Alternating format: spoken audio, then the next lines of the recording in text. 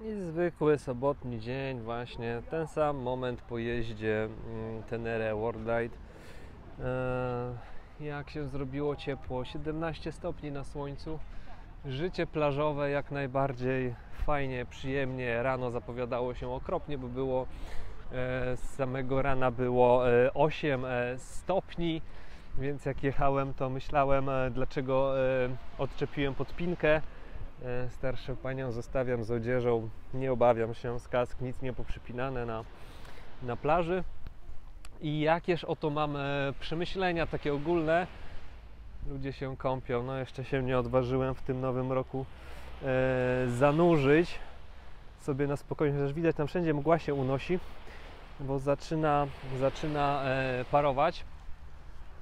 I jakież Simon ma przemyślenia odnośnie tych nowych motocykli? Jeszcze nie wiem, bo zbieram to w swojej głowie, e, analizuję, jeszcze czekam na Transalpa, jeszcze na jakieś inne motocykle, ale e, to, co mi przychodzi do głowy, to to to, że w międzyczasie też udało mi się spróbować e, przejechać też starymi motocyklami, tak zwanymi rad style. Tak jak szukam sobie od pewnego czasu jakiegoś takiego motocykla drugiego zastępczego, pomocniczego. E, wiadomo, czasem trzeba pogrzebać, ja zostałem tylko z jednym pojazdem. E, więc ostatnio oglądałem też Suzuki DR125 z ciekawości, bo coś takiego jest, jest fajne jako rower, taki, taki motocykl lekki, nie zajmujący dużo miejsca, e, prosty w naprawie, e, raczej e, w serwisie też tani. I już nawet znalazłem taki i oglądałem, już miałem gotówkę w kieszeni. E, już myślałem, że, że po prostu to kupię. 800 euro. No, po kalkulacji, no to sporo jednak, ale 125 tego typu motocykle są bardzo w cenie, chyba wszędzie, z powodu na uprawnienia do jazdy. Więc y, obejrzałem taki motocykl e, i zmierzam do tego, że e, po obejrzeniu tego motocykla stwierdziłem, że coś tu jest nie tak. Wiedziałem, że już gdzieś tam będzie pordzewiały, e, że właściciel e, rzekomo jeździł i go dbał o niego, ale coś tam było grzebane mocno. Jazda próbna, nie wiem czy do wina 125, bo dawno nie jeździłem, czy, czy tego, że po prostu w ogóle mocy nie miało, więc stwierdziłem, że w tej cenie mm, nie, w tej cenie nie da rady. Porozmawiałem grzecznie, asertywnie, że po prostu tak naprawdę nie potrzebuję motocykla e, na już, ale nie w tej cenie, więc zaproponowałem 600 E, trochę się uśmiechnął, a też się uśmiechnąłem i się rozstaliśmy w pokoju. E, Teraz niedawno sytuacja, miałem też okazję e, przejechać się starym Transalpem z 1993. To ten model już e, starczą z tyłu hamulcową i też typowy rad style, czyli taki dość mocno zapuszczony motocykl. Oczywiście z dokumentami. E, Właściciel też proponował praktycznie e, całą drugą Hondę Transal bez ramy, bo pracował, był, pracował na szrocie, to sobie takie rzeczy powyciągał, teraz jest na emeryturze i stwierdził, że chce posprzątać e, swój e, garaż, swoją przestrzeń garażową, bo mu to zajmuje miejsca, motocykl jest za ciężki, no i prawda, pod tym względem mu uwierzyłem, no ale się przejechałem takim motocyklem i stwierdziłem, że Pierwsza rzecz, stwierdziłem, że świetna cena, świetna okazja, żeby zacząć jakiś projekt e, robić, szczególnie na ilość dużą e, części. Ale w momencie, gdy się przejechałem, stwierdziłem, ja cię, Jany, Julek, rany Julek, e, w ogóle ile to pracy by było trzeba włożyć, bo wszystko podrdzewiałe. Myślałem, że taki motocykl nada się do jazdy na co dzień, ale wypadałoby od razu na dzień dobry dużo rzeczy w nim zrobić.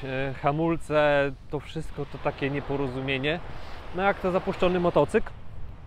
I odpuściłem. Odpuściłem e, w myśl filozoficzną, e, że nie mam miejsca, gdzie tego składować. E, nie mam przestrzeni i faktycznie od razu zacząłem dostrzegać, jakie to są koszta, żeby coś takiego doprowadzić do, do ładu, do składu, żeby to jeździło. A przecież szukam tylko motocykla typowo zastępczego e, i stwierdziłem, że nie ma sensu ładować się w podobną klasę motocykla jak Transal 650, bo będą porównywalne i wtedy zachwieje to moją równowagę, jeżeli chodzi o modyfikacje, o projekty, bo nie będę wiedział na czym się skupić. a ta ilość tych wszystkich części zamiennych przytłaczała. Jak mi pokazał, ile on tego ma, to chwyciłem się za głowę, że nie mam po prostu na to wszystko żadnego miejsca e, do składowania, a gdy wynajmuję, to wolę się trzymać tak minimalizmu, tak silnie, żeby być niezależnym przy przeprowadzkach.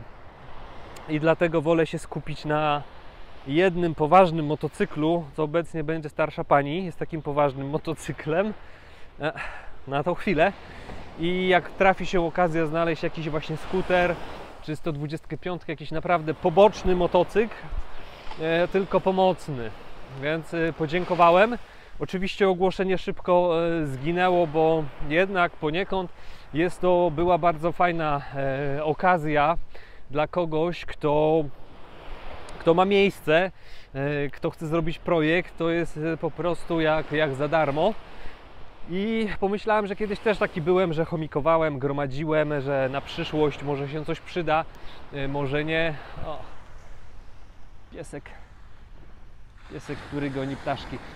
gromadziłem te rzeczy, że coś zrobię, ale gdy dochodzę do wniosku, że gromadzenie takich rzeczy E, dużo części zamiennych tego typu używanych, e, drugi silnik powiedzmy, ale tak naprawdę w rezultacie nie wiemy w jakim to jest stanie. Trzeba by było wszystko przejrzeć i lepiej jest, no, na moją taką logikę obecną, lepiej jest coś jednego utrzymać, wymienić na bieżąco różne rzeczy na części na nowe i mieć pewność tej sprawności. Natomiast na logikę taką, jeżeli jeździsz wokół komina, masz jakąś stodółkę i miejsce, gdzie to wszystko trzymać, to po prostu jest idealne, bo nie uderzasz w jakieś dalekie trasy, tylko jedziesz wokół komina, coś ci się tam posypało, masz e, drugi motocykl na części, wymieniasz i cieszysz się dalej, więc to są zupełnie dwie różne strategie, dwie różne logiki i ja to dostrzegam i na przykład yy, dlatego zdałem szybko sobie sprawę, że to dla mnie by było dużym obciążeniem, a nie okazją, a inna osoba powie, że to świetna okazja i to jest ok.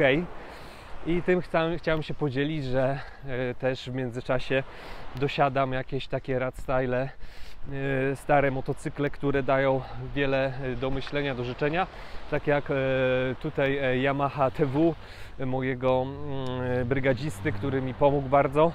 Pożyczył motocykl wtedy, kiedy robiłem remont starszej pani, ale naprawdę bałem się tego motocykla z powodu, że nie miał praktycznie hamulców ani z przodu, ani z tyłu. W lusterkach nic nie było widać i to mnie przerażało w ruchu miejskim, że może do czegoś dojść. Pomimo, że ten motocykl nie miał mocy, nie mógł się rozpędzić, to mogłem nie wyhamować i przyładować w kogoś, bądź ktoś mógł we mnie przyładować, bo nie widziałem w lusterkach, co się, co się dzieje. I ten motocykl z grzeczności dla własnego bezpieczeństwa e, przeserwisowałem, e, odpowietrzyłem hamulce, nasmarowałem łańcuch, wyregulowałem, był jeszcze kłopot z gaźnikiem, bo był jakiś taki zamienny gaźnik. No ale tak zrobiłem, żeby móc do tej pracy parę razy dojechać. Więc e, to jest kwestia tego, jak kto użytkuje motocykl, bo to nie jest to, że chcę powiedzieć, że są e, motocykliści, motocykliści to pewne, ale w tym sensie są użytkownicy, są użytkownicy, są pasjonaci, są motocykliści, są mechanicy, nie każdy to odczuwa inaczej, nie każdy musi być e, mechanikiem czy się na tym znać. E, dla jednych wystarczy, że jakkolwiek to jedzie, jakkolwiek to hamuje i wtedy dochodzi do takiego stanu zaniedbania albo po prostu ktoś jeździ e, sporadycznie, tak jak mój brygadzista jeździ bardzo rzadko, czasu do czasu, więc więc dla niego to jest ok, a na przykład dla mnie jak wsiadam to jest śmierć w oczach, pomimo, że to jest motorynka, ale nieakceptowalne do użytku zapuszczenie jakiegoś e, łańcucha, który zerdzewieje, e, czy po prostu brak e, lusterek czy hamulców. To dla mnie jest niedopuszczalne. Więc podsumowując, takie ostatnio mam przemyślenia na swój temat, na tych obserwacjach, co dostrzegam i dostrzegłem coś takiego, że nawet starsza pani, powiedzmy, nie mówię, że starszy Transalp jest B, czy tam jakiś inny motocykl, ale zauważam e, zaniedbania i myślę, że każdy motocykl można e, utrzymać w taki sposób, aby był praktycznie podobny do współczesnego. Na przykład, jak mam teraz w starszej pani hamulce, to odczuwam, że ta dozowalność dla mnie na przykład jest dużo fajniejsza Transalpie niż y, w tej, co dzisiaj testowałem, y, Tenerze, że tak jakby mm, reakcja na hamulec, tylko to może być zmylne. Nie mówię, że w nowym jest y, gorsza, na przykład w Tuaregu mi bardziej się podobała. W Tenerę jest poprawna, ale jakoś tak, tak mniej to odczuwałem. Kwestia pewnie przyzwyczajenia. Ale zmierzam do tego, że dobrze zadbany, zaserwisowany układ hamulcowy, czyli gdy te tłoczki hamulcowe poprawnie chodzą, są przewody w oplocie, wszystko porobione, yy, to daje to uczucie pewności yy, i dozowalności tego hamulca, czy też yy, poprawnie nasmarowana główka, główka ramy, to wszystko porobione na bieżąco, że takie wrażenie, że nie czuję tego wrażenia takiej mega przepaści pomiędzy tymi współczesnymi motocyklami, a na przykład starszą panią. I to mnie też y, poniekąd zdziwiło. Oczywiście pod względem charakterystyki silnika tak, ale samego odczucia mm, motocykla jako motocykla. No i chyba to jest pozytywne.